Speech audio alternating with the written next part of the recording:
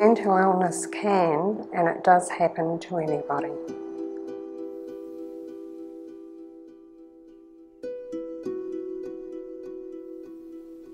My name is Kathleen. I cared for my husband who had schizophrenia.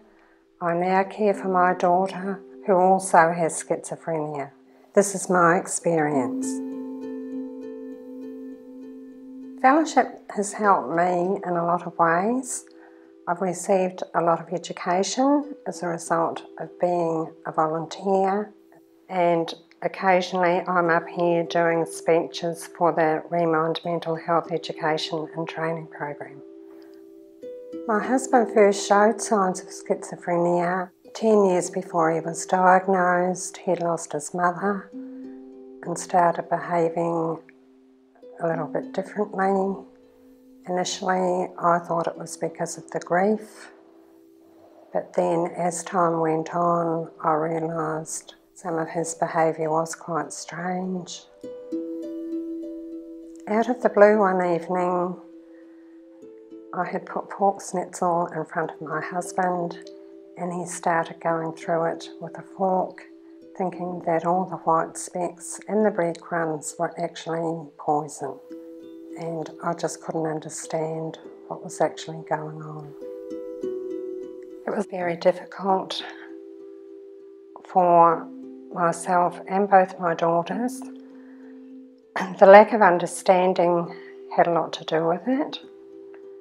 And there were a lot of days you get up in the morning and you didn't know what to expect. You'd be walking around on eggshells, wondering what was going to happen, if anything was going to happen. I did encourage him to go to our GP.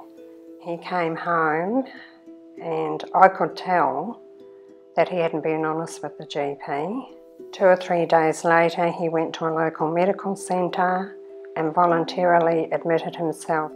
He only stayed there one night and came home the next morning. I was at the end of my tether by then. Fortunately, the mental health crisis team did come to the house and try and convince him to go back to hospital. He wouldn't do that. He was convinced that there was nothing wrong. After that, he actually, through our GP, did get in to see a psychiatrist reasonably quickly. Even though the mental health team had come to the house, they would not tell us a lot about what was going on and it would have helped tremendously if someone had explained a lot more in detail as to what was actually happening to him. I tried to cope as best I could by keeping busy with the girls, being involved with them. I did start reading quite a lot about schizophrenia, which did help me understand part of what he was going through. I did go for counselling, and that particular counsellor did help me a lot because she made me realise that I had to think of myself as well as caring for two people with mental illness. My daughter's teenage years were difficult because she had been suffering from anxiety, from irrational thoughts, from depression, She'd been under a psychiatrist, and even though she'd been having suicidal thoughts, he would not put her on medication, he wouldn't give a definite diagnosis as to what was happening with her at that time, and that was all very frustrating.